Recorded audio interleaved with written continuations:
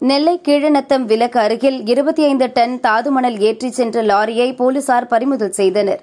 லாரியில் இருந்த மூன்று பேர் லாரியை பின்தொடர்ந்து பைக்கில் வந்த இரண்டு பேர் என ஐந்து பேரை பிடித்து விசாரித்து வருகின்றனர்.